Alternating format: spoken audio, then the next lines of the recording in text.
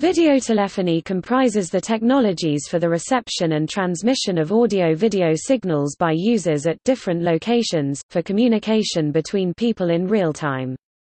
A videophone is a telephone with a video display, capable of simultaneous video and audio for communication between people in real time. Videoconferencing implies the use of this technology for a group or organizational meeting rather than for individuals, in a videoconference.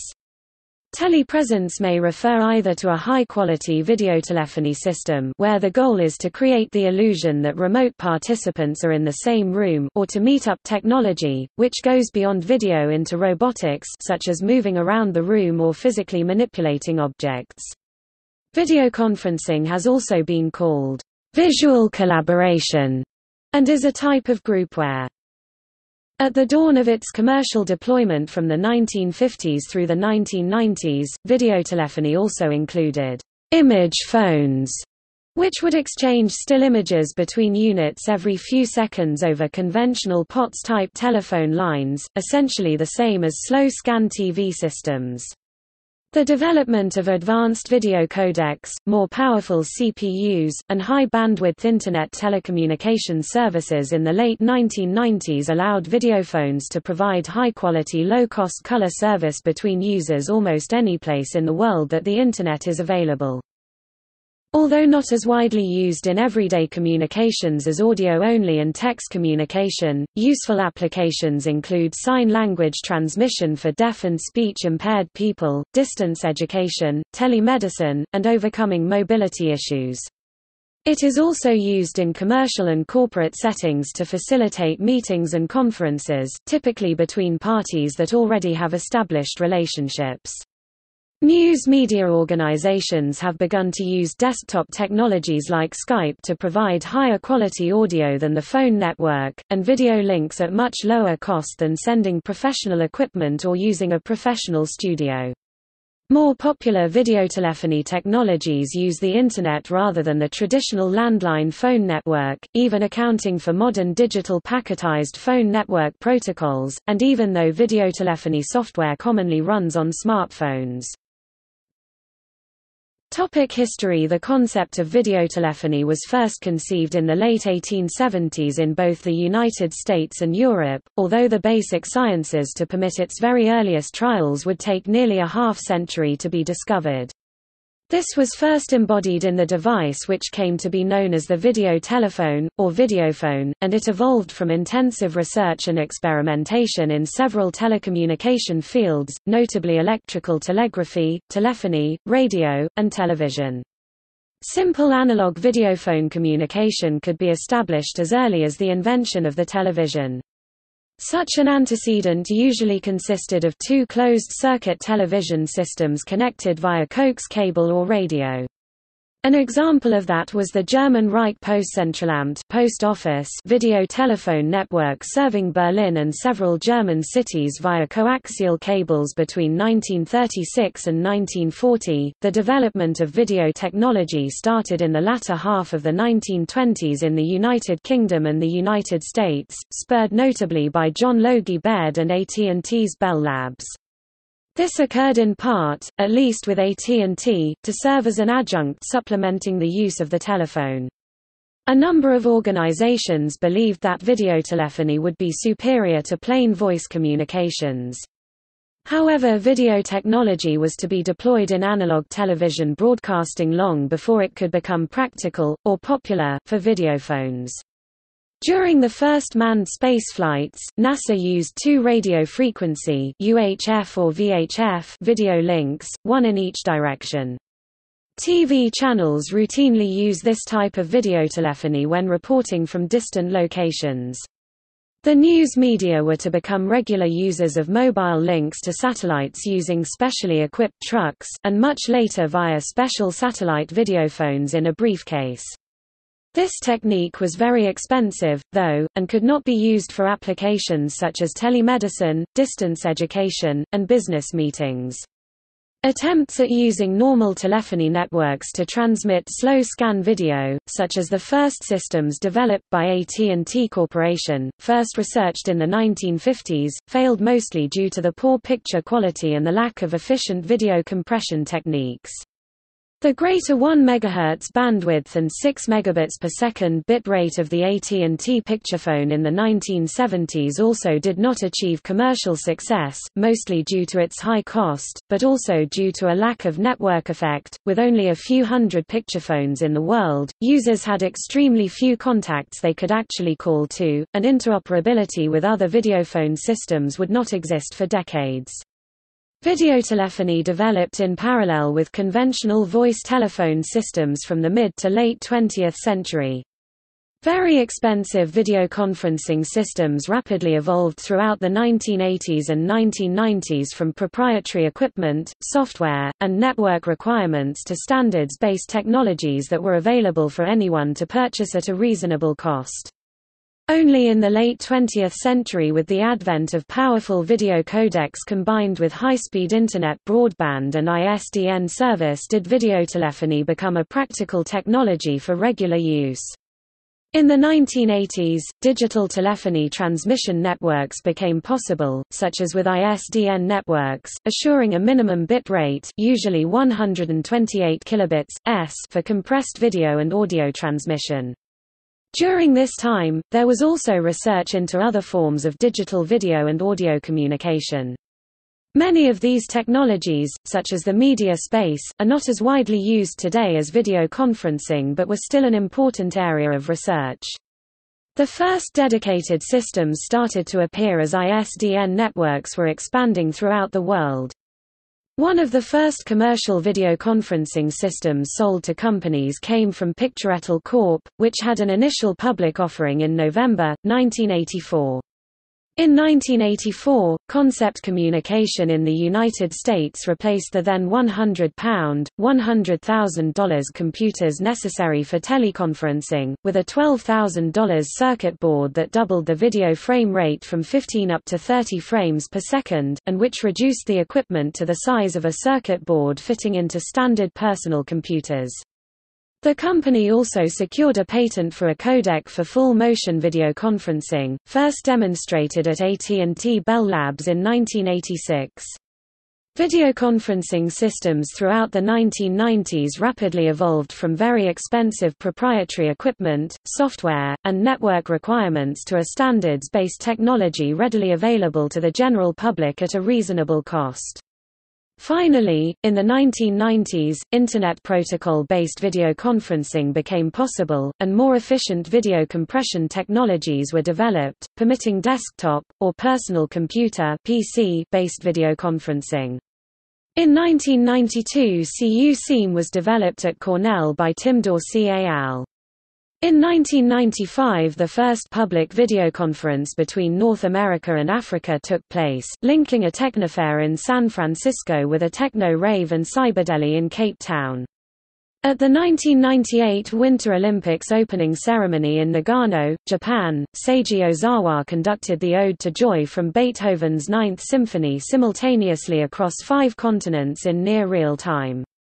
While videoconferencing technology was initially used primarily within internal corporate communication networks, one of the first community service usages of the technology started in 1992 through a unique partnership with Picturetel and IBM corporations which at the time were promoting a jointly developed, desktop-based videoconferencing product known as the PCS-1.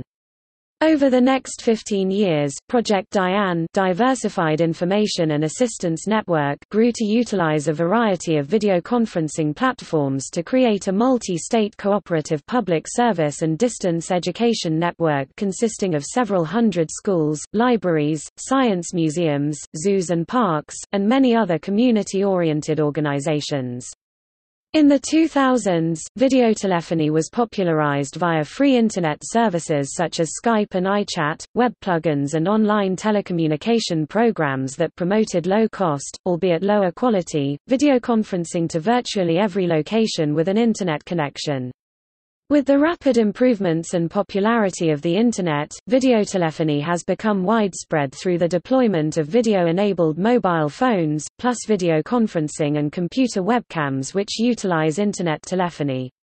In the upper echelons of government, business, and commerce, telepresence technology, an advanced form of video conferencing, has helped reduce the need to travel. In May 2005, the first high definition video conferencing systems, produced by Lifesize Communications, were displayed at the Interop trade show in Las Vegas, Nevada, able to provide video at 30 frames per second with a 1280 by 720 display resolution. Polycom introduced its first high-definition video conferencing system to the market in 2006. As of the 2010s, high-definition resolution for video conferencing became a popular feature, with most major suppliers in the video conferencing market offering it. Technological developments by videoconferencing developers in the 2010s have extended the capabilities of video conferencing systems beyond the boardroom for use with handheld mobile devices that combine the use of video, audio and on-screen drawing capabilities broadcasting in real time over secure networks, independent of location. Mobile collaboration systems now allow people in previously unreachable locations, such as workers on an offshore oil rig, the ability to view and discuss issues with colleagues thousands of miles away. Traditional videoconferencing system manufacturers have begun providing mobile applications as well, such as those that allow for live and still image streaming. The highest ever video call other than those from aircraft and spacecraft took place on May 19, 2013 when British adventurer Daniel Hughes used a smartphone with a BGAN satellite modem to make a video call to the BBC from the summit of Mount Everest at 8848 meters, 29,000 29 feet above sea level. Topic major categories Videotelephony can be categorized by its functionality, that is to its intended purpose, and also by its method of transmissions. Videophones were the earliest form of videotelephony, dating back to initial tests in 1927 by AT&T. During the late 1930s the post offices of several European governments established public videophone services for person-to-person -person communications utilizing dual cable circuit telephone transmission technology. In the present day standalone videophones and UMTS video-enabled mobile phones are usually used on a person-to-person -person basis.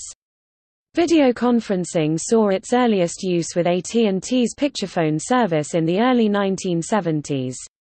Transmissions were analog over short distances, but converted to digital forms for longer calls, again using telephone transmission technology. Popular corporate video conferencing systems in the present day have migrated almost exclusively to digital ISDN and IP transmission modes due to the need to convey the very large amounts of data generated by their cameras and microphones.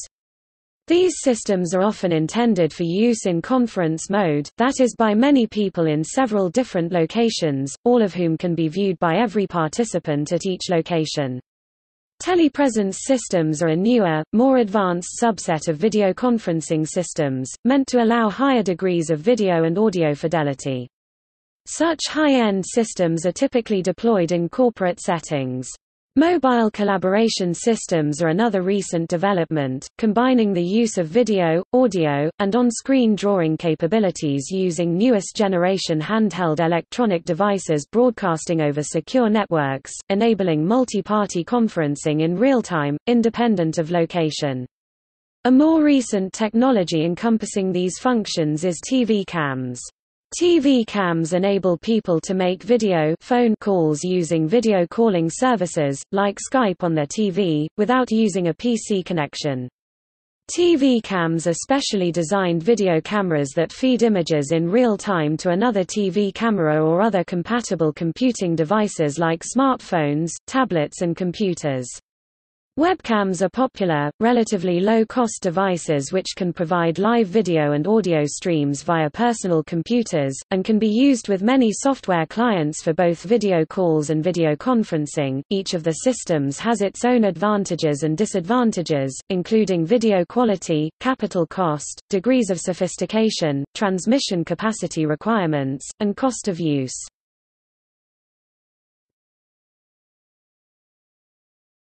Topic: Categories by cost and quality of service.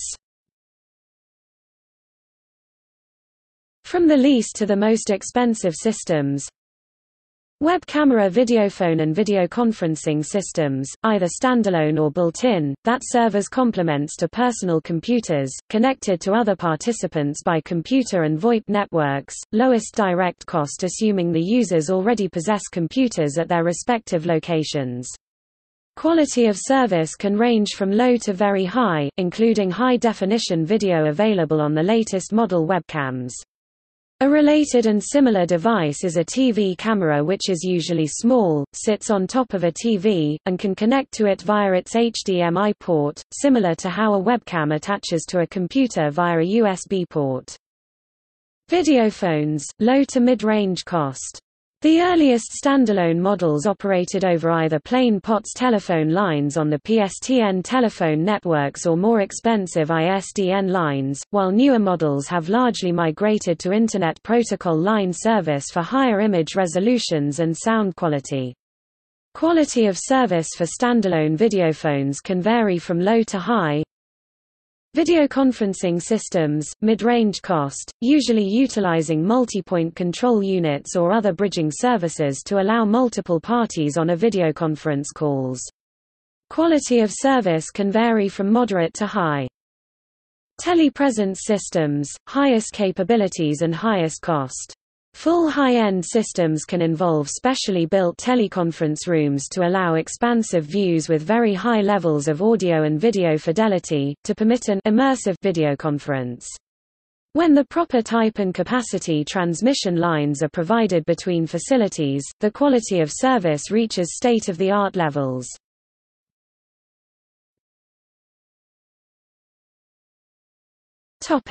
Security concerns Computer security experts have shown that poorly configured or inadequately supervised video conferencing system can permit an easy virtual entry by computer hackers and criminals into company premises and corporate boardrooms, via their own video conferencing systems.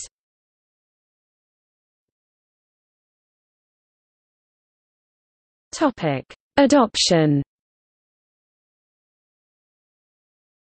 For over a century, futurists have envisioned a future where telephone conversations will take place as actual face-to-face -face encounters with video as well as audio. Sometimes it is simply not possible or practical to have face-to-face -face meetings with two or more people. Sometimes a telephone conversation or conference call is adequate. Other times, email exchanges are adequate.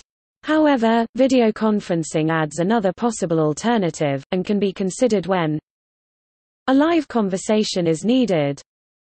Non-verbal visual information is an important component of the conversation. The parties of the conversation can't physically come to the same location. The expense or time of travel is a consideration. Some observers argue that three outstanding issues have prevented video conferencing from becoming a widely adopted form of communication, despite the ubiquity of video conferencing capable systems. Eye contact Eye contact plays a large role in conversational turn-taking, perceived attention and intent, and other aspects of group communication. While traditional telephone conversations give no eye contact cues, many video conferencing systems are arguably worse in that they provide an incorrect impression that the remote interlocutor is avoiding eye contact. Some telepresence systems have cameras located in the screens that reduce the amount of parallax observed by the users. This issue is also being addressed through research that generates a synthetic image with eye contact using stereo reconstruction. Telcordia Technologies, formerly Bell Communications Research, owns a patent for eye-to-eye -eye video conferencing using rear projection screens with the video camera behind it, evolved from a 1960s U.S. military system that provided video conferencing services between the White House and various other government and military facilities. This technique eliminates the need for special cameras or image processing. Appearance consciousness, a second psychological problem with video conferencing is being on camera, with the video stream possibly even being recorded. The burden of presenting an acceptable on-screen appearance is not present in audio-only communication. Early studies by Alphonse Chapanis found that the addition of video actually impaired communication, possibly because of the consciousness of being on camera. Signal latency – The information transport of digital signals in many steps need time. In a telecommunicated conversation, an increased latency time lag larger than about 150 to 300 milliseconds becomes noticeable and is soon observed as unnatural and distracting. Therefore, next to a stable large bandwidth, a small total round-trip time is another major technical requirement for the communication channel for interactive video conferencing. Bandwidth and quality of service – In some countries it is difficult or expensive to get a high-quality connection that is fast enough for good quality video conferencing. Technologies such as ADSL have limited upload speeds and cannot upload and download simultaneously at full speed. As Internet speeds increase higher quality and high-definition video conferencing will become more readily available. Complexity of systems – Most users are not technical and want a simple interface. In hardware systems, an unplugged cord or a dead battery in a remote control is seen as failure, contributing to a perceived unreliability. Successful systems are backed by support teams who can proactively support and provide fast assistance when required. Perceived lack of interoperability – Not all systems can readily interconnect, for example ISDN and IP systems require a gateway. Popular software solutions cannot easily connect to hardware systems. Some systems use different standards, features, and qualities which can require additional configuration when connecting to dissimilar systems. Free software systems circumvent this limitation by making it relatively easy for a single user to communicate over multiple incompatible platforms. Expensive commercial systems, well-designed telepresence systems require specially designed rooms which can cost hundreds of thousands of dollars to fit out their rooms with codecs, integration equipment such as multi-point control units, high-fidelity sound systems, and furniture. Monthly charges may also be required for bridging services and high-capacity broadband service. These are some of the reasons many systems are often used for internal corporate use only, as they are less likely to result in lost sales. One alternative to companies lacking dedicated facilities is the rental of video conferencing equipped meeting rooms in cities around the world. Clients can book rooms and turn up for the meeting, with all technical aspects being pre-arranged and support being readily available if needed. The issue of eye contact may be solved with advancing technology, including smartphones which have the screen and camera in essentially the same place. The ubiquity of smartphones, tablet computers, and computers with built-in audio and webcams in developed countries obviates the need to buy expensive hardware.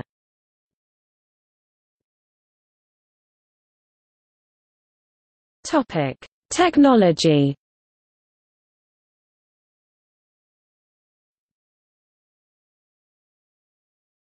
Topic: Components and types.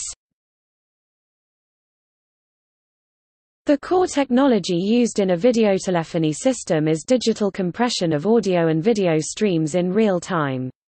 The hardware or software that performs compression is called a codec coder, decoder. Compression rates of up to 1 to 500 can be achieved. The resulting digital stream of ones and zeros is subdivided into labeled packets, which are then transmitted through a digital network of some kind usually ISDN or IP.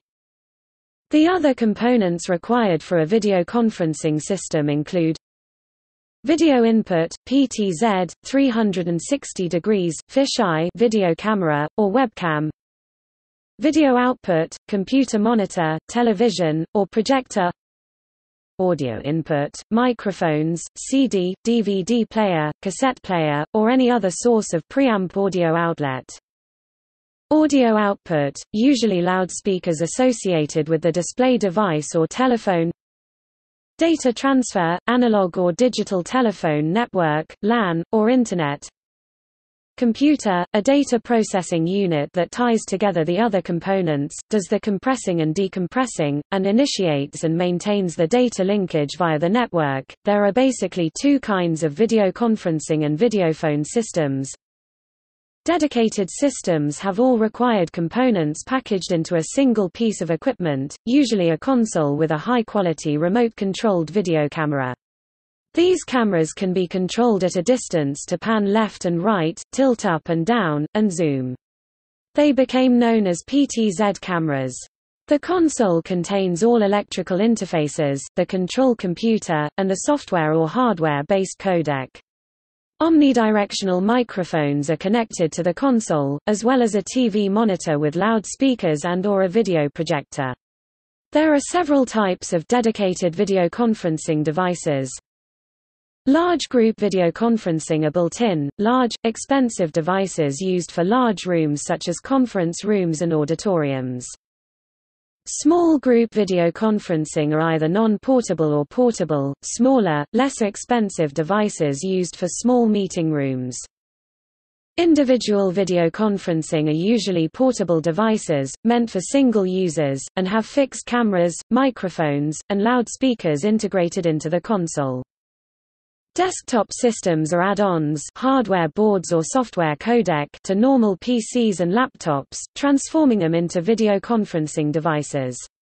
A range of different cameras and microphones can be used with the codec, which contains the necessary codec and transmission interfaces.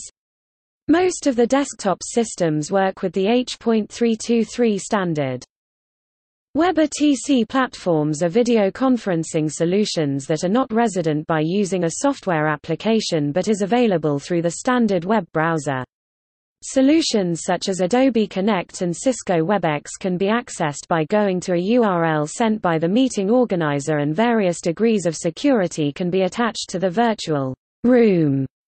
Often the user will be required to download a piece of software, called an add-in, to enable the browser to access the local camera, microphone and establish a connection to the meeting. WebRTC technology doesn't require any software or add-on installation, instead a WebRTC-compliant Internet browser itself acts as a client to facilitate one-to-one -one and one-to-many video conferencing calls. Several enhanced flavors of WebRTC technology are being provided by third-party vendors.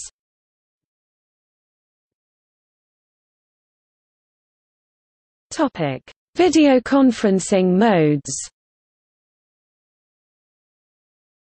Video conferencing systems use two methods to determine which video feed or feeds to display. Continuous presence simply displays all participants at the same time, usually with the exception that the viewer either does not see their own feed, or sees their own feed in miniature. Voice-activated switch selectively chooses a feed to display at each endpoint, with the goal of showing the person who is currently speaking. This is done by choosing the feed other than the viewer which has the loudest audio input perhaps with some filtering to avoid switching for very short-lived volume spikes. Often if no remote parties are currently speaking, the feed with the last speaker remains on the screen.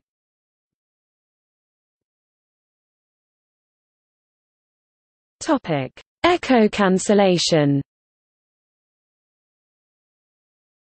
Acoustic echo cancellation (AEC) is a processing algorithm that uses the knowledge of audio output to monitor audio input and filter from it noises that echo back after some time delay. If unattended, these echoes can be re-amplified several times, leading to problems including the remote party hearing their own voice coming back at them usually significantly delayed strong reverberation, which makes the voice channel useless Howling created by feedback echo cancellation is a processor-intensive task that usually works over a narrow range of sound delays.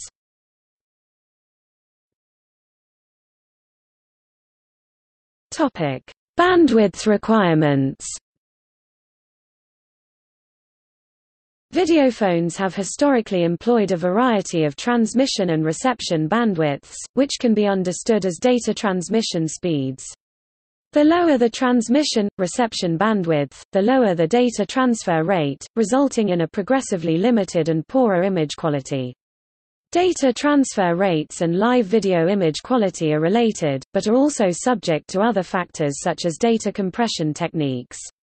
Some early videophones employed very low data transmission rates with a resulting poor video quality. Broadband bandwidth is often called high speed because it usually has a high rate of data transmission. In general, any connection of 256 kilobits per second, 0.256 megabits per second or greater is more concisely considered broadband internet. The International Telecommunication Union Standardization Sector recommendation I.113 has defined broadband as a transmission capacity at 1.5 to 2 megabits per second. The United States Federal Communications Commission definition of broadband is 25 megabits per second. Currently, adequate video for some purposes becomes possible at data rates lower than the ITUT broadband definition, with rates of 768 kilobits per second and 384 kilobits per second used for some video conferencing applications, and rates as low as 100 kilobits per second used for videophones using H.264, MPEG MPEG-4 AVC compression protocols. The newer MPEG-4 video and audio compression format can deliver high-quality video at 2 megabits per second, which is at the low end of cable modem and ADSL broadband performance.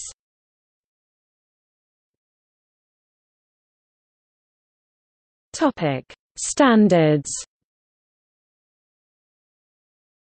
The International Telecommunications Union has three umbrellas of standards for video conferencing.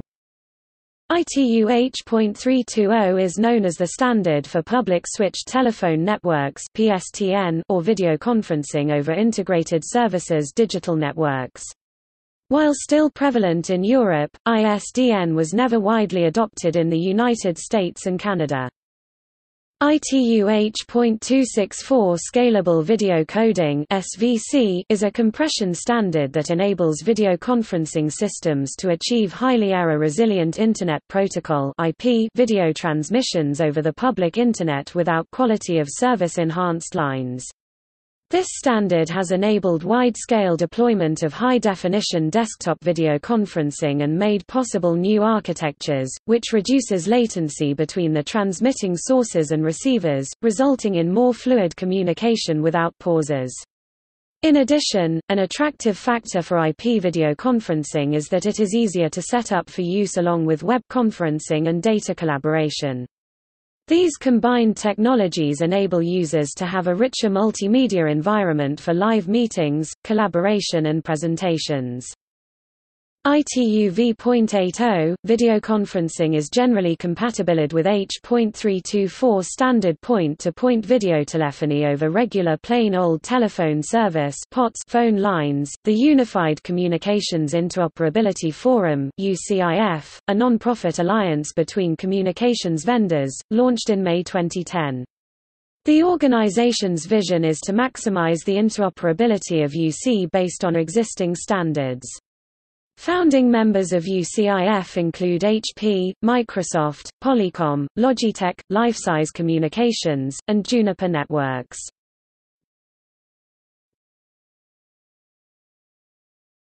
Topic: Call setup Video conferencing in the late 20th century was limited to the H.323 protocol notably Cisco's SCCP implementation was an exception, but newer videophones often use SIP, which is often easier to set up in home networking environments. It is a text-based protocol, incorporating many elements of the Hypertext Transfer Protocol and the Simple Mail Transfer Protocol (SMTP). H.323 is still used, but more commonly for business video conferencing, while SIP is more commonly used in personal consumer videophones. A number of call setup methods based on instant messaging protocols such as Skype also now provide video. Another protocol used by videophones is H.324, which mixes call setup and video compression. Videophones that work on regular phone lines typically use H.324, but the bandwidth is limited by the modem to around 33 kilobits per second, limiting the video quality and frame rate. A slightly modified version of H.324 called 3G324M defined by 3GPP is also used by some cell phones that allow video calls, typically for use only in UMTS networks. There is also H.320 standard, which specified technical requirements for narrow-band visual telephone systems and terminal equipment, typically for video conferencing and videophone services. It applied mostly to dedicated circuit-based switched network point-to-point -point connections of moderate or high bandwidth, such as through the medium bandwidth ISDN digital phone protocol or a fractionated high bandwidth T1 lines. Modern products based on H.320 standard usually support also H.323 standard. The IAX2 protocol also supports videophone calls natively, using the protocol's own capabilities to transport alternate media streams. A few hobbyists obtained the Nortel 1535 color SIP videophone cheaply in 2010 as surplus after Nortel's bankruptcy and deployed the sets on the Asterisk PBX platform. While additional software is required to patch together multiple video feeds for conference calls or convert between dissimilar video standards, SIP calls between two identical handsets within the same PBX were relatively straightforward.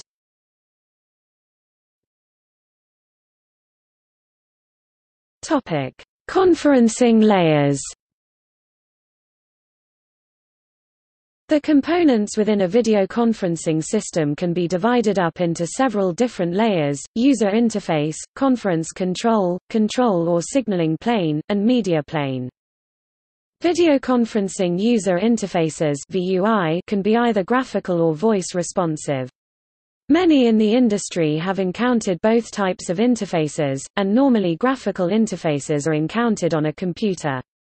User interfaces for conferencing have a number of different uses, they can be used for scheduling, setup, and making a video call. Through the user interface the administrator is able to control the other three layers of the system. Conference control performs resource allocation, management, and routing. This layer along with the user interface creates meetings scheduled or unscheduled or adds and removes participants from a conference. Control signaling plane contains the stacks that signal different endpoints to create a call and or a conference. Signals can be, but aren't limited to, H.323 and Session Initiation Protocol SIP protocols. These signals control incoming and outgoing connections as well as session parameters. The media plane controls the audio and video mixing and streaming. This layer manages real-time transport protocols, user datagram packets (UDP), and real-time transport control protocol (RTCP). The RTP and UDP normally carry information such as the payload type which is the type of codec, frame rate, video size, and many others. RTCP on the other hand acts as a quality control protocol for detecting errors during streaming.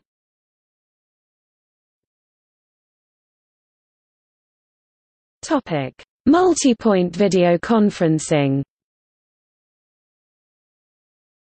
Simultaneous video conferencing among three or more remote points is possible in a hardware-based system by means of a multipoint control unit (MCU).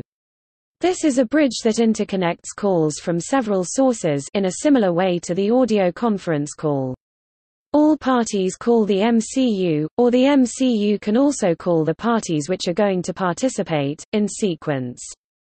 There are MCU bridges for IP and ISDN-based video conferencing. There are MCUs which are pure software, and others which are a combination of hardware and software. An MCU is characterized according to the number of simultaneous calls it can handle, its ability to conduct transposing of data rates and protocols, and features such as continuous presence, in which multiple parties can be seen on screen at once. MCUs can be standalone hardware devices, or they can be embedded into dedicated video conferencing units. The MCU consists of two logical components, a single multipoint controller MC, and Multipoint processors MP, sometimes referred to as the mixer, the MC controls the conferencing while it is active on the signaling plane, which is simply where the system manages conferencing creation, endpoint signaling and in-conferencing controls. This component negotiates parameters with every endpoint in the network and controls conferencing resources. While the MC controls resources and signaling negotiations, the MP operates on the media plane and receives media from each endpoint. The MP generates output streams from each endpoint and redirects the information to other endpoints in the conference. Some systems are capable of multi-point conferencing with no MCU, standalone, embedded or otherwise.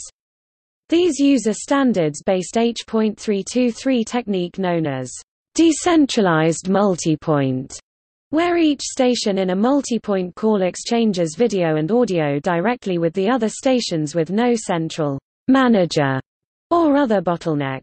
The advantages of this technique are that the video and audio will generally be of higher quality because they don't have to be relayed through a central point.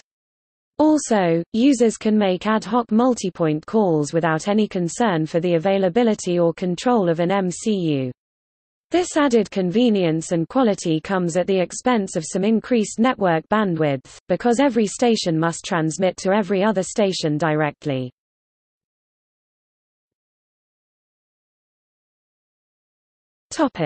Cloud-based video conferencing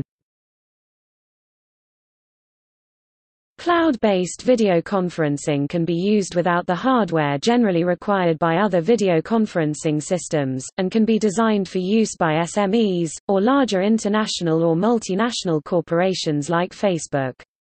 Cloud-based systems can handle either 2D or 3D video broadcasting.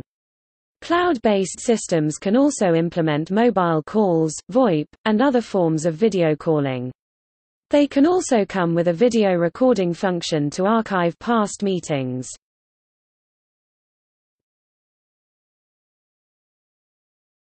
Topic: Impact High-speed Internet connectivity has become more widely available at a reasonable cost and the cost of video capture and display technology has decreased. Consequently, personal video conferencing systems based on a webcam, personal computer system, software compression, and broadband Internet connectivity have become progressively more affordable to the general public. Also, the hardware used for this technology has continued to improve in quality, and prices have dropped dramatically. The availability of freeware often as part of chat programs has made software-based video conferencing accessible to many. The widest deployment of video telephony now occurs in mobile phones. Nearly all mobile phones supporting UMTS networks can work as videophones using their internal cameras, and are able to make video calls wirelessly to other UMTS users in the same country or internationally. As of the second quarter of 2007, there are over 131 million UMTS users and hence potential videophone users, on 134 networks in 59 countries. Mobile phones can also use broadband wireless Internet, whether through the cell phone network or over a local Wi-Fi connection, along with software-based videophone apps to make calls to any video-capable Internet user, whether mobile or fixed. Deaf, hard of hearing, and mute individuals have a particular role in the development of affordable high-quality videotelephony as a means of communicating with each other in sign language. Unlike video relay service, which is intended to support communication between a caller using sign language and another party using spoken language, video conferencing can be used directly between two deaf signers. Videophones are increasingly used in the provision of telemedicine to the elderly, disabled, and to those in remote locations, where the ease and convenience of quickly obtaining diagnostic and consultative medical services are readily apparent. In one single instance quoted in 2006, a nurse-led clinic at Letham has received positive feedback on a trial of a video link which allowed 60 pensioners to be assessed by medics without travelling to a doctor's office or medical clinic. A further improvement in telemedical services has been the development of new technology incorporated into special videophones to permit remote diagnostic services, such as blood sugar level, blood pressure, and vital signs monitoring. Such units are capable of relaying both regular audio-video plus medical data over either standard POTS telephone or newer broadband lines. Videotelephony has also been deployed in corporate teleconferencing, also available through the use of public access videoconferencing rooms. A higher level of video conferencing that employs advanced telecommunication technologies and high-resolution displays is called telepresence. Today the principles, if not the precise mechanisms, of a videophone are employed by many users worldwide in the form of webcam video calls using personal computers, with inexpensive webcams, microphones, and free videocalling web client programs. Thus an activity that was disappointing as a separate service has found a niche as a minor feature in software products intended for other purposes. According to Juniper Research, smartphone videophone users will reach 29 million by 2015 globally. A study conducted by Pew Research in 2010 revealed that 7% of Americans have made a mobile video call.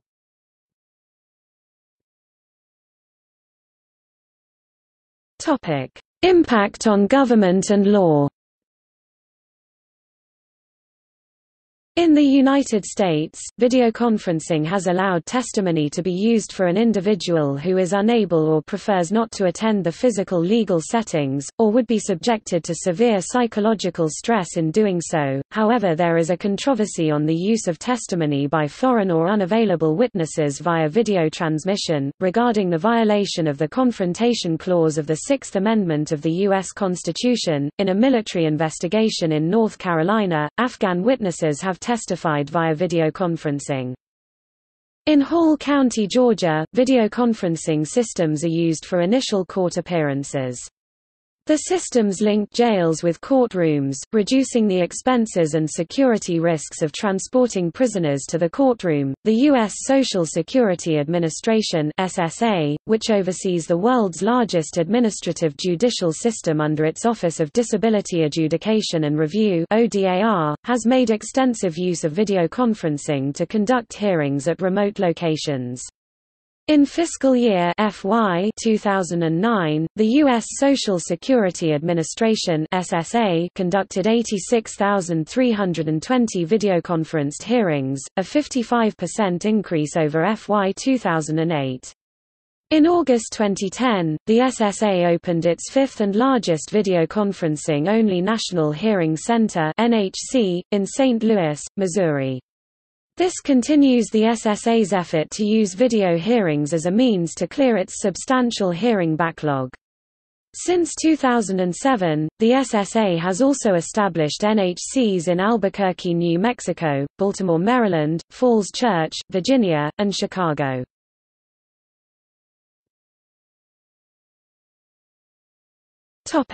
Impact on education Videoconferencing provides students with the opportunity to learn by participating in two-way communication forums. Furthermore, teachers and lecturers worldwide can be brought to remote or otherwise isolated educational facilities. Students from diverse communities and backgrounds can come together to learn about one another through practices known as telecollaboration in foreign language education and virtual exchange, although language barriers will continue to be present. Such students are able to explore, communicate, analyze, and share information and ideas with one another. Through video conferencing, students can visit other parts of the world to speak with their peers, as well as visit museums and other cultural and educational facilities. Such virtual field trips can provide enriched learning opportunities to students, especially those in geographically isolated locations, and to the economically disadvantaged. Small schools can use these technologies to pool resources and provide courses, such as in foreign languages, which could not otherwise be offered. A few examples of benefits that video conferencing can provide in campus environments include Faculty members keeping in touch with classes while attending conferences Faculty members attending conferences virtually Guest lecturers brought in classes from other institutions Researchers collaborating with colleagues at other institutions on a regular basis without loss of time due to travel. Schools with multiple campuses collaborating and sharing professors. Schools from two separate nations engaging in cross-cultural exchanges. Faculty members participating in thesis defenses at other institutions. Administrators on tight schedules collaborating on budget preparation from different parts of campus. Faculty committee auditioning scholarship candidates. Researchers answering questions about grant proposals from agencies or review committees. Student interviews with employers in other cities, and teleseminars.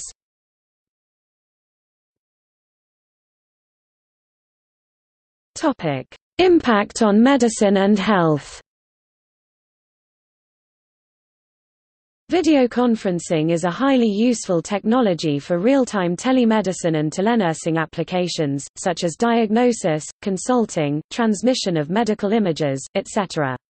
With video conferencing, patients may contact nurses and physicians in emergency or routine situations. Physicians and other paramedical professionals can discuss cases across large distances. Rural areas can use this technology for diagnostic purposes, thus saving lives and making more efficient use of health care money. For example, a rural medical center in Ohio used video conferencing to successfully cut the number of transfers of sick infants to a hospital 70 miles 110 kilometers away. This had previously cost nearly $10,000 per transfer. Special peripherals such as microscopes fitted with digital cameras, video endoscopes, medical ultrasound imaging devices, otoscopes, etc., can be used in conjunction with video conferencing equipment to transmit data about a patient. Recent developments in mobile collaboration on handheld mobile devices have also extended video conferencing capabilities to locations previously unreachable, such as a remote community, long-term care facility, or a patient's home.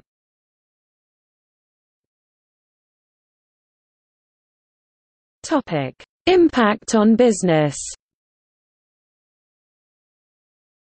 Video conferencing can enable individuals in distant locations to participate in meetings on short notice, with time and money savings.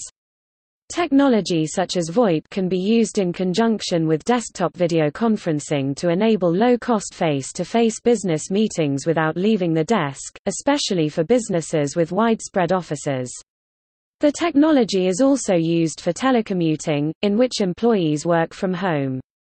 One research report based on a sampling of 1,800 corporate employees showed that, as of June 2010, 54% of the respondents with access to video conferencing used it all of the time or frequently Intel Corporation have used video conferencing to reduce both costs and environmental impacts of its business operations. Video conferencing is also currently being introduced on online networking websites, in order to help businesses form profitable relationships quickly and efficiently without leaving their place of work.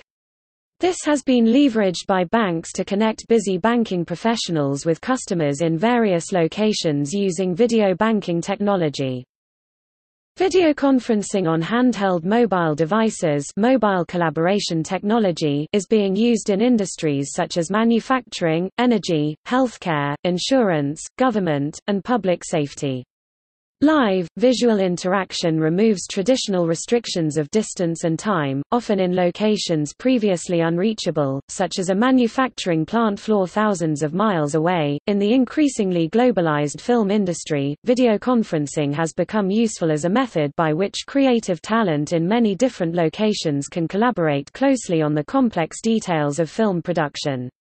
For example, for the 2013 award-winning animated film Frozen, Burbank-based Walt Disney Animation Studios hired the New York City-based husband and wife songwriting team of Robert Lopez and Kristen Anderson Lopez to write the songs, which required two-hour-long transcontinental videoconferences nearly every weekday for about 14 months. With the development of lower-cost endpoints, cloud-based infrastructure and technology trends such as WebRTC, video conferencing is moving from just a business-to-business offering, to a business-to-business and business-to-consumer offering. Although videoconferencing has frequently proven its value, research has shown that some non-managerial employees prefer not to use it due to several factors, including anxiety. Some such anxieties can be avoided if managers use the technology as part of the normal course of business. Remote workers can also adopt certain behaviors and best practices to stay connected with their coworkers and company. Researchers also find that attendees of business and medical video conferences must work harder to interpret information delivered during a conference than they would if they attended face to face. They recommend that those coordinating video conferences make adjustments to their conferencing procedures and equipment.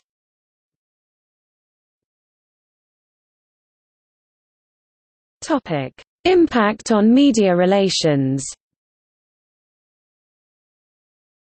The concept of press video conferencing was developed in October 2007 by the Pan-African Press Association APA, a Paris, France-based non-governmental organization, to allow African journalists to participate in international press conferences on developmental and good governance issues.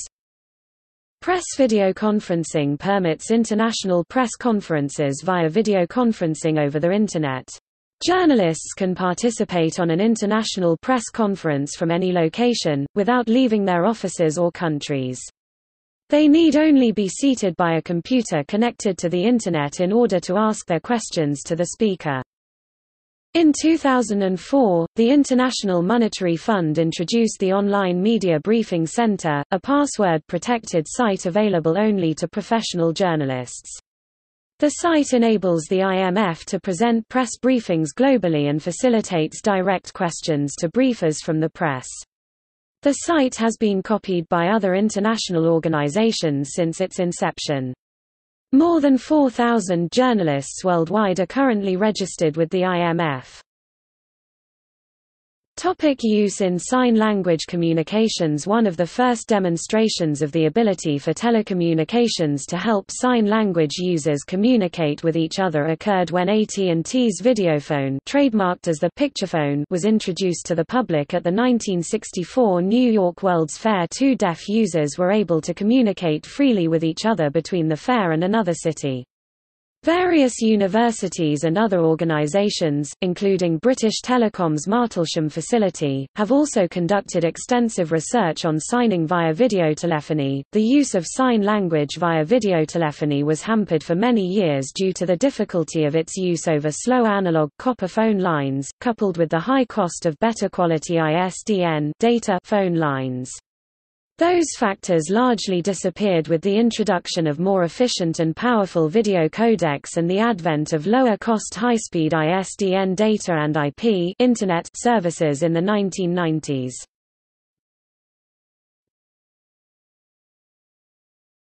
Topic: 21st century improvements.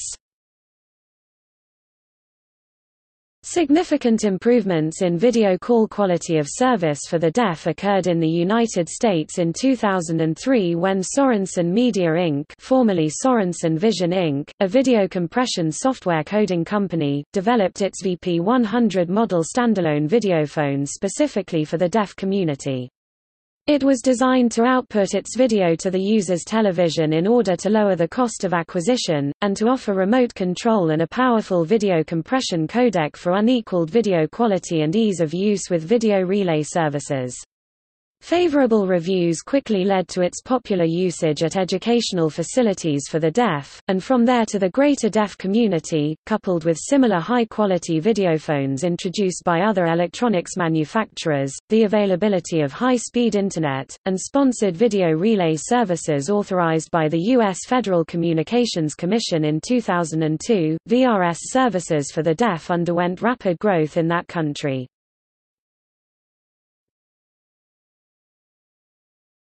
Topic: Present-day usage.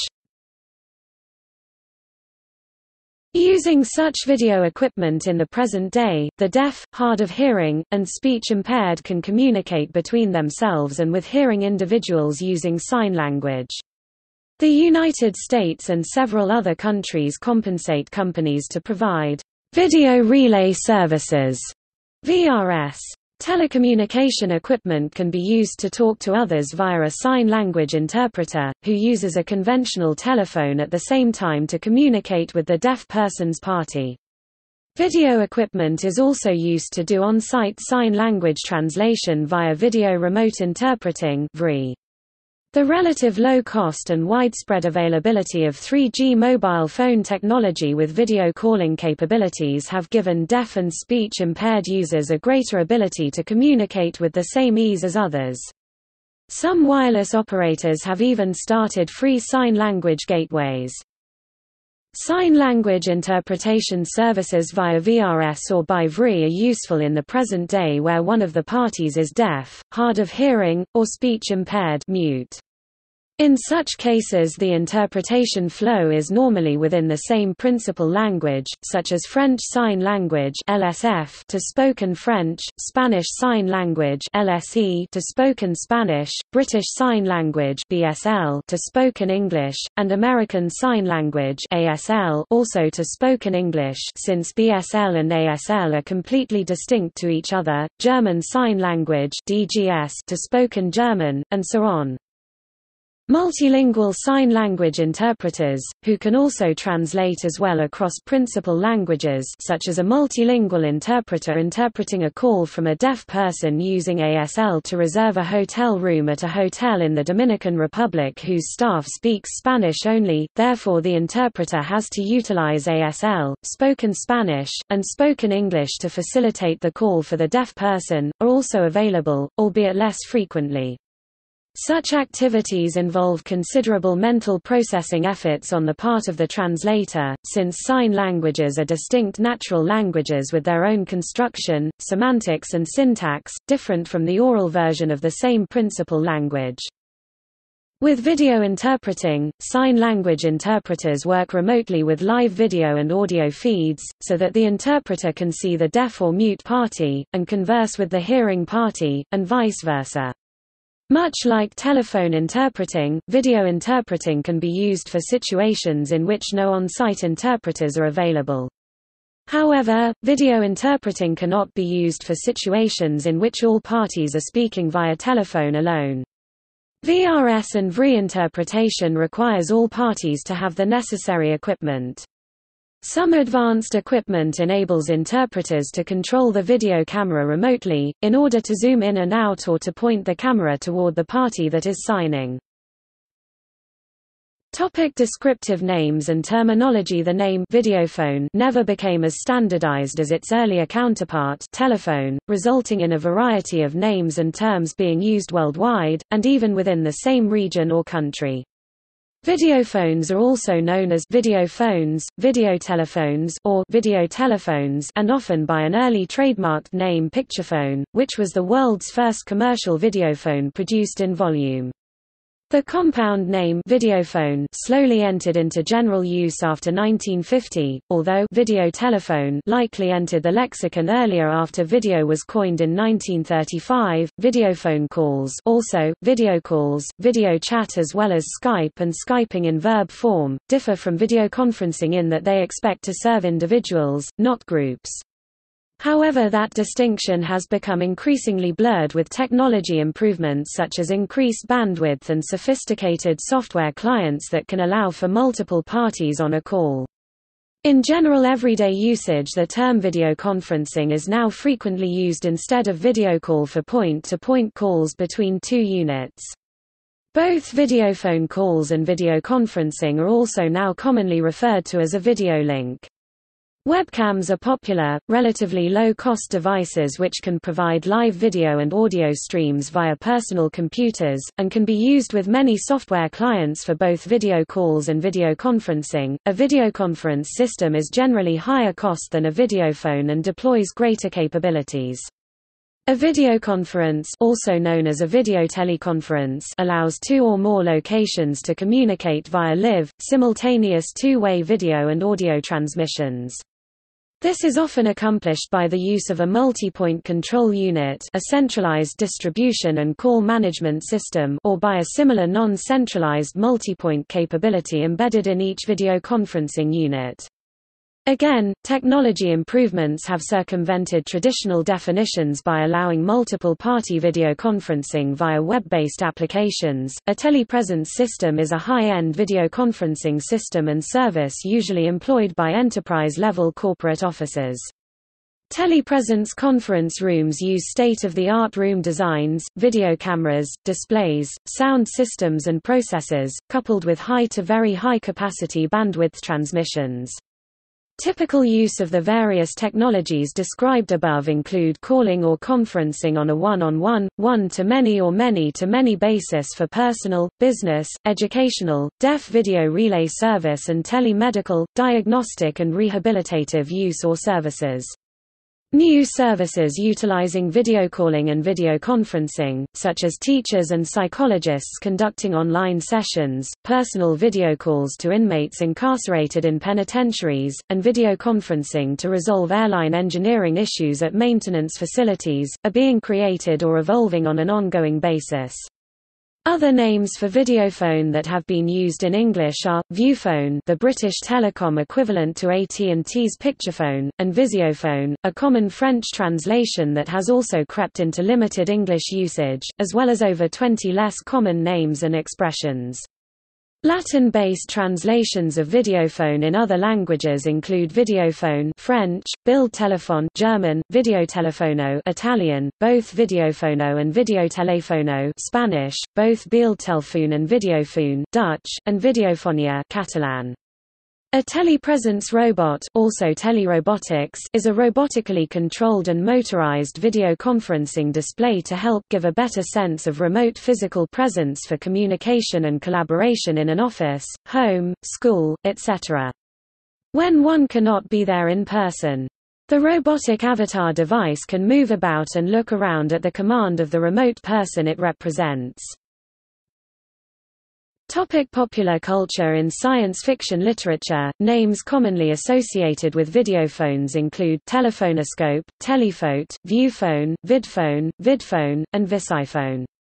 The first example was probably the cartoon Edison's Telephonoscope, by George du Maurier in Punch 1878. In many science fiction movies and TV programs that are set in the future, videophones were used as a primary method of communication. One of the first movies where a videophone was used was Fritz Lang's Metropolis 1927. Other notable examples of videophones in popular culture include an iconic scene from the 1968 film 2001, A Space Odyssey set on Space Station V. The movie was released shortly before AT&T began its efforts to commercialize its Picturephone Mod 2 service in several cities and depicts a video call to Earth using an advanced AT&T videophone, which it predicts will cost $1.70 for a two-minute call in 2001 a fraction of the company's real rates on Earth in 1968. Film director Stanley Kubrick strove for scientific accuracy, relying on interviews with scientists and engineers at Bell Labs in the United States. Dr. Larry Rabiner of Bell Labs, discussing videophone research in the documentary 2001, The Making of a Myth, stated that in the mid to late 1960s videophones, captured the imagination of the public and, of Mr. Kubrick and the people who reported to him.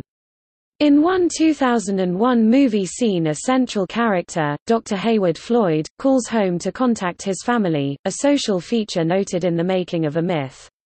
Floyd talks with and views his daughter from a space station in orbit above the Earth, discussing what type of present he should bring home for her. A portable videophone is also featured prominently in the 2009 science fiction movie Moon, where the story's protagonist, Sam Bell, also calls home as well to communicate with loved ones. Bell, the lone occupant of a mining station on the far side of the Earth's moon, finally succeeds in making his video call after an extended work period, but becomes traumatized when viewing his daughter. Other popular science fiction stories with videophones include Space, 1999, Star Trek, Total Recall, Blade Runner, and Firefly. The videophone was a staple, everyday technology in the futuristic 1960s Hanna-Barbera cartoon The Jetsons.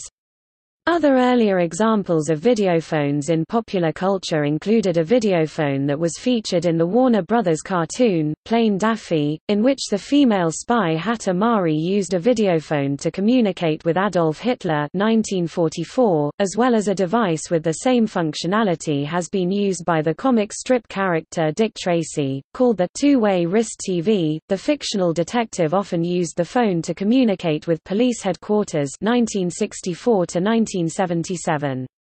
By the early 2010s videotelephony and videophones had become commonplace and unremarkable in various forms of media, in part due to their real and ubiquitous presence in common electronic devices and laptop computers.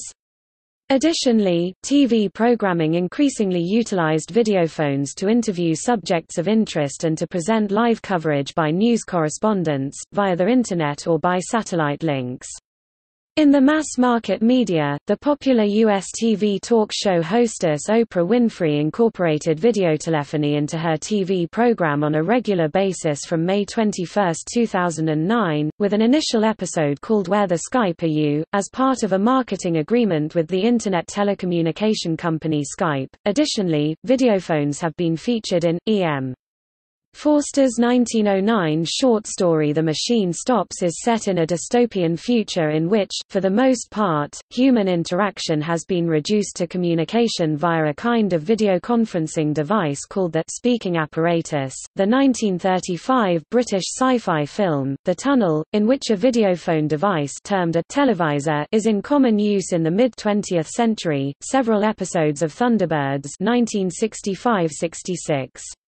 These were shown to also have an audio-only setting, which was indicated by the words sound-only selected being displayed on the screen. The British cartoon Danger Mouse, where the title character regularly communicated with headquarters via videophones from both his home and his car 1981 to 1992, the movie Gremlins 2, The New Batch, where AT&T's Videophone 2500 prototypes are visible 1990, Lisa's Wedding, an episode of The Simpsons which depicted a picturephone 1995, the popular television series Pee-wee's Playhouse, Pee-wee Herman often made and received calls on a videophone like Magic Screen 1986 to 1990, the movie Back to the Future Part 2, where the future Marty McFly is contacted by Needles, his co-worker, and then by his boss Mr. Fujitsu, via videophone 1989, the movie Demolition Man, where the action was referred to as fiberop, the movie Spaceballs, which used the potential intrusiveness to humorous effect, the movie Aliens, in the early scenes on the space station, the movie Seven Days in May made in 1964, in which the President of the United States uses a videophone in the near future early 1970s, the novel Infinite Jest, where the videophone specifically the fall of the videophone is spoken of extensively 1996, the animated television program Futurama, where the videophone is often used within the delivery service Spaceship 1999 to 2013, Teenage Mutant Ninja Turtles. The Turtlecom cell phone devices have video phones on them and are often used by the four mutant turtles to contact April O'Neil.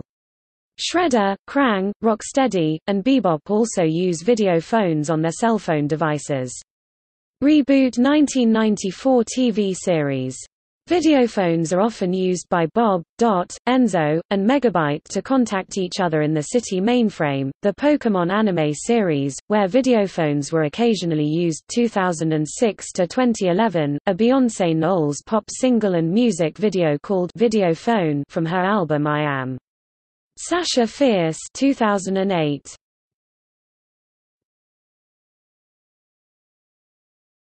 Topic. See also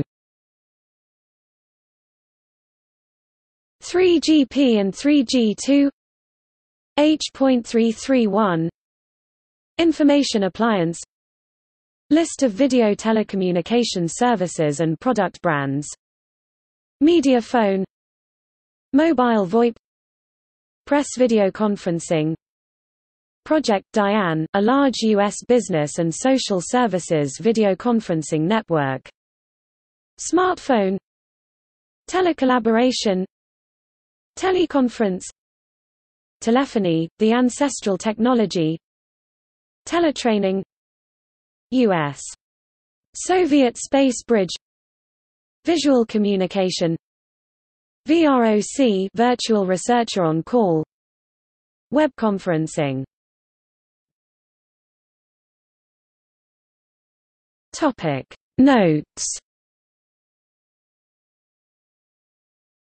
Topic bibliography Santanu Brahma and Axlater Communications Audio-video telephony, real-time updates and news about WebRTC technology and browser-based audio and video telephony Burns, R.W., Television, An International History of the Formative Years in IEE Publication Series, Institution of Electrical Engineers, Science Museum Great Britain, 1998, ISBN 0-85296-914-7, ISBN 978-0-85296-914-4 Daly, Edward A. and Hansel, Kathleen J. Visual Telephony, Artech House, Boston, 19 1999, ISBN 1-58053-023-0, ISBN 978-1-58053-023-1, CIPDHD 9697, T452D 35651.7 3DC 21, Muhlbach, Lothar, Bocker, Martin, Prussog, Angela 1995.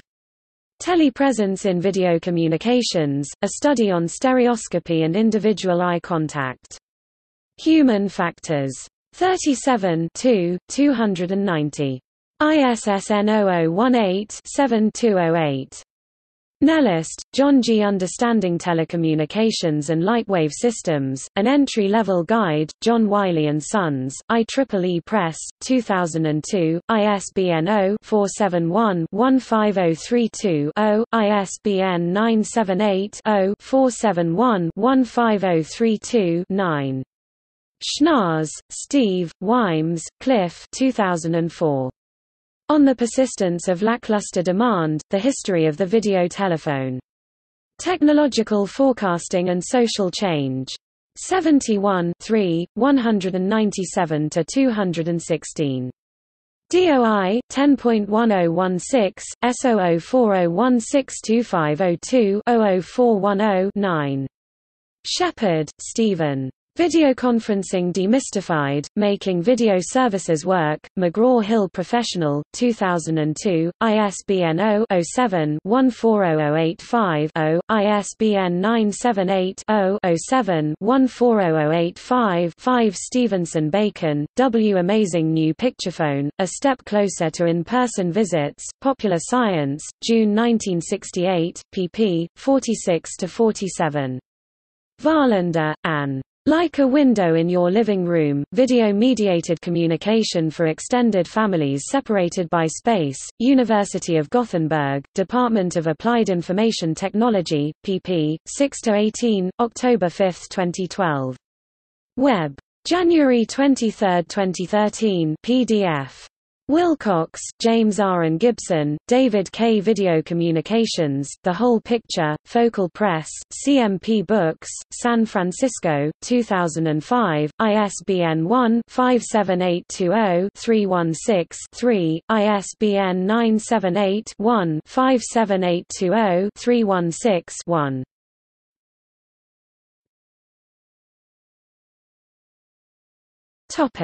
Further reading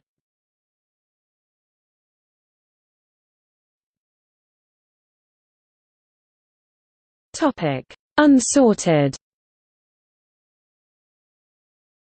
Greenberg, Alan D. Taking the Wraps Off Video Conferencing in the U.S. Classroom, Wainhouse Research, April 2009. Kopytoff, Verne G. Hewlett-Packard sells its video conferencing business, The New York Times, June 1, 2011. Lawler, Julia. Video conferencing, From Stage Fright to Stage Presence, The New York Times, August 27, 1998. Lohr, Steve. As travel costs rise, more meetings go virtual. The New York Times, July 22, 2008. Miller, Claire Cain. Logitech buying a maker of videoconference tools. The New York Times, November 11, 2009. Miller, Claire Cain. Logitech breaks into video conferencing. The New York Times, November 10, 2009 online, and November 11, 2009 in print p. B3. Discusses the acquisition of Lifesize Communications. Millman, Howard. The videoconference is a bicoastal pas de deux. The New York Times, July 12, 2001. O'Brien, Kevin. Stranded travelers turn to video conferencing. The New York Times, April 19, 2010. Article discusses the increased use of video conferencing due to the eruption of an Icelandic volcano which severely curtailed air travel for several months. Ramirez, Anthony. More than just a phone call, video conferencing and photocopies. 2. The New York Times, September 15, 1993 discusses the deployment of video conferencing rooms in several hundred Kinko's locations. Shannon, Victoria. Videoconferencing's Virtual Leap Forward, The New York Times, August 29, 2007. Sharkey, Joe. A Meeting in New York. Can't We Videoconference, The New York Times, May 11, 2009 online, and in print on May 12, 2009, p. B6 of the New York edition. Vance, Ashley. Cisco buys Norwegian firm for $3 billion, The New York Times, October 1, 2009 online, and October 2, 2009 in print, p. B7. Discusses the acquisition of Tandberg. Wang, SE's open source tool detects video conferencing equipment vulnerabilities. HelpNet Security, the 17th of February 2012. Wayner, Peter. Jerky Pictures and Sounder History. Video conferencing is all grown up. The New York Times, June 16, 2005.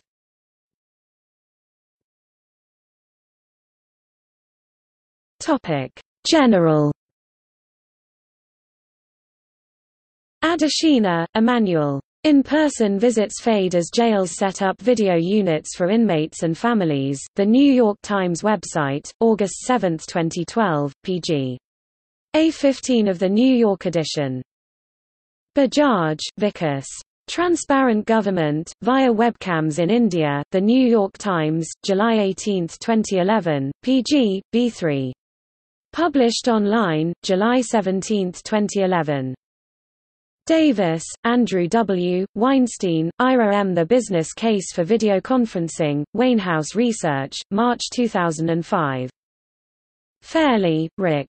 Skype puts video calls on your TV, The New York Times, July 2, 2010. Hoffman, Jan. When Your Therapist is Only a Click Away, The New York Times, September 25, 2011, pg. ST1. Also published September 23, 2011 online at www.nytimes.com. Miller, Hugh. Videophones, The Real Problem. Archived from the original on 16 June 2002. Retrieved 16 June 2002, CS1 maint, bot, original URL status unknown link, Department of Social Sciences, Nottingham Trent University, June 16, 2002. Discusses social issues related to video videotelephony. Perlroth, Nicole. Cameras may open up the boardroom to hackers, The New York Times Online, January 22, 2012.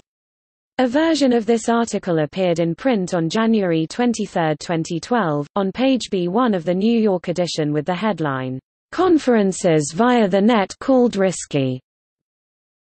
ProAv magazine. Being There, ProAv magazine, November 7, 2008. St. Louis, Catherine. With enough bandwidth, many join the band. The New York Times, January 10, 2012. Online, January 11, 2012. In print, New York edition, pg. A1. Retrieved online January 11, 2012. Synopsis, a look at the pros and cons of videotelephony used for private, individual, music lessons. Steinberg, Neil. Dude, Where's My Video Phone? Forbes. Com website, October 15, 2007. Topic: Environmental benefits. Biello, David. Can videoconferencing replace travel? Scientific American, March 18, 2009. Kuroyama, V.C., al. Effects of Internet-based multiple-site conferences on greenhouse gas emissions, telematics and informatics 2011, DOI, 10.1016, j.tele.2011.11.006 Pachner, Joanna. The Next Best Thing to Being There Toronto, The Globe and Mail, October 13, 2009. Topic historical and technical Ebel, H. Subjective Assessment of Picture Interference in the Videophone in 4th International Symposium on Human Factors in Telephony, Bad Wiessee, Germany, September 23–27, 1968, Information Gatekeepers Inc., pp. 289–298. Fisher, K., Ebel, H. Problems of How to Position Users in Front of the Videophone in, 4th International Symposium on Human Factors in Telephony, Bad Wiessee, Germany, September 23–27, 1968, Information Gatekeepers Inc., pp. 269–282. Hall, A.D. Experiments with Picturephone Service in, Bell Laboratories Record, 1964, Volume 42, pp. 114–120. Ives, Herbert E. Two-Way Television and a pictorial account of its background in, Bell Laboratories Record, 1930, Volume 8, pp. 399–404, and viewable online here. Ives, Herbert E. Picture Transmission and Television in, Bell Labs Quarterly, April 1932, Volume 11, pp. 118–142. Jaw, Francis. Usage domestiques du visiophone, Technologies de l'information et société, 2, 1990, pp. 89–102, French Schunig, von Johannes, Maley, Rolf.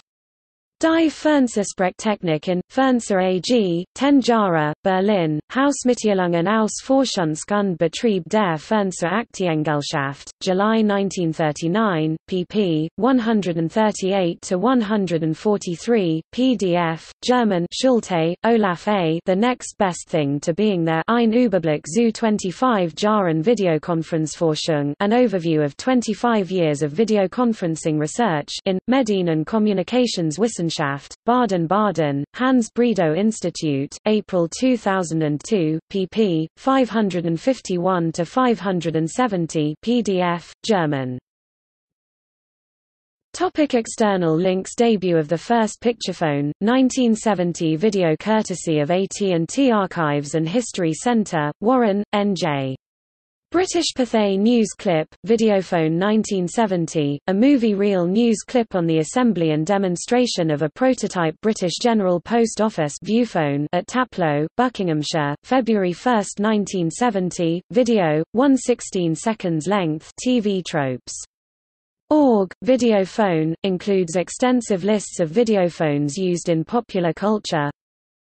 Whirlpool Forums, movies that feature videophones Finnish 1980s videophone development at YLE Elävä Arkisto YLE Living Archives Histoire de la télévision includes numerous texts of proposals of vision apparatus at the end of the 19th century.